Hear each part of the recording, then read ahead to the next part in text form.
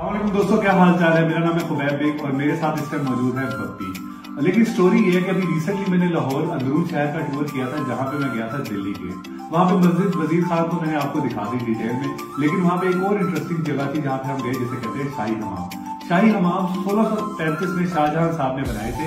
उसमें यहाँ पे 21 हमाम थे, जिसमें आठ थे गर्म पानी के, आठ थे ठंडे पानी के और पाँच थे सोना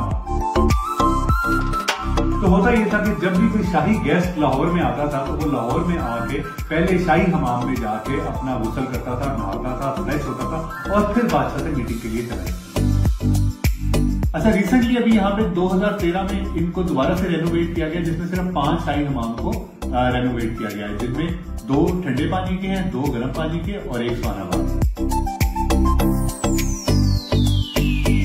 अब मैं आपको चलकर दिखाता हूँ वर्ल्ड सिटी की खूबसूरत स्ट्रीट जिसमें से 50 स्ट्रीट्स को अभी रेनोवेट किया गया है और इनमें जो सबसे मशहूर गली है, उसका नाम है गली सोजन सिंह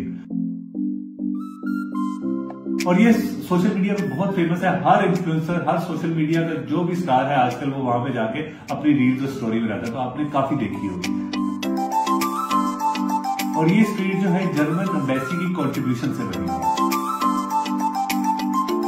और अब मैं आपको चलकर दिखाता हूँ, यहाँ पे दूर शहर की सबसे तंग गली जिसके बारे में अहमद यूसफी साहब ने कहा है कि लाहौर की कुछ गलियाँ ऐसी हैं, जिनमें एक तरफ़ से मर्द आ रहा हो और दूसरी तरफ़ से औरत आ रही हो तो सिर्फ़ गुंजाइश निकाह की बनती है।